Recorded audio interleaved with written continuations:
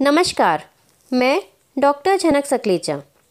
Pregnancy के दौरान अक्सर महिलाएँ हमसे एक सवाल करती हैं, क्या मैं चाय और कॉफ़ी पी सकती हूँ? तो आज इस वीडियो में हम इसी टॉपिक पे बात करेंगे। देखिए, टी और कॉफ़ी दोनों में ही कैफ़ीन होता है, जो एक स्टिमुलेंट है। मींस, जब भी हम लेज़ी फील करते हैं, लो फील करते हैं तो हम टी और कॉफ़ी ले लेते हैं, and after taking it, we feel better. पर आज हम बात करेंगे कि प्रेगनेंसी के दौरान टी और कॉफ़ी लेने से क्या होता है।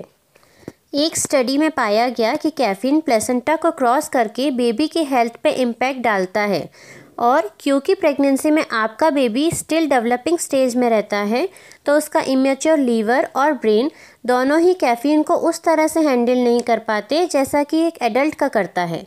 जिसका रिज़ल्ट देखा गया है कि risk of miscarriage low birth weight baby और कई बार हाई ब्लड प्रेशर की शिकायत भी हो सकती है। क्योंकि कैफ़ीन एक ड्रग है जो एज अ स्टिमुलेंट काम करता है, इसलिए it causes rapid heart beat और कई बार आपके स्लीपिंग पैटर्न भी चेंज हो जाते हैं।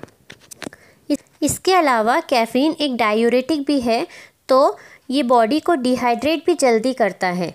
इसलिए आप कई बार देखते होंगे कि टी और कॉफ़ी लेने के बाद आपको यूरिन पास करने के लिए फ्रिक्वेंटली जाना पड़ता है।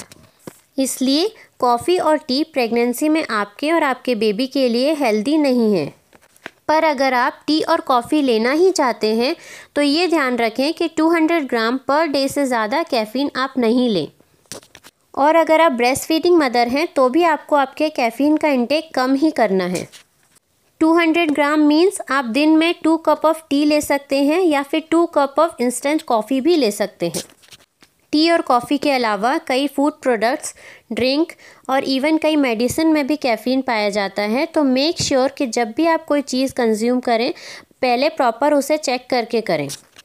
अब जानेंगे थ्री बेस्ट ऑल्टरनेटिव्स जो आप टी और कॉफ़ी की जगह ले सकते हैं, जो रिफ़्रेशिंग भी हैं और हेल्दी भी हैं।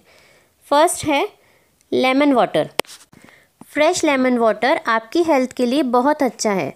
साथ ही प्रेगनेंसी के दौरान होने वाली उल्टी या फिर जी घबराने की शिकायतों को भी ये दूर करता है। लेमन डाइजेस्टिव ट्रैक्ट और स्किन के लिए भी बहुत अच्छा है।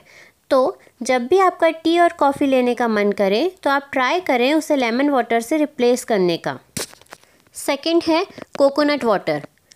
अगर प्रेगनेंसी में कोकोनट वाटर लिया जाए तो ये पीएच मेंटेन करने में बहुत हेल्प करता है। साथ ही ये डाइजेशन के लिए भी बहुत अच्छा होता है। कोकोनट वाटर कई तरह की यूरिनरी प्रॉब्लम्स को भी दूर करता है और ये इम्यूनिटी को भी इंक्रीज़ करता है। थर्ड है योगर्ट यानी दही।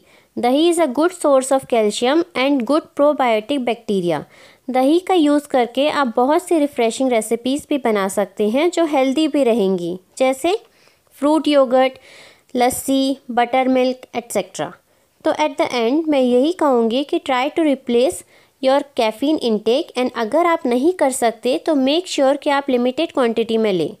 आई होप आपको ये वीडियो पसंद आया हो। मिलते हैं नेक्स्ट वीडियो में। Till then take care be healthy and safe thank you so much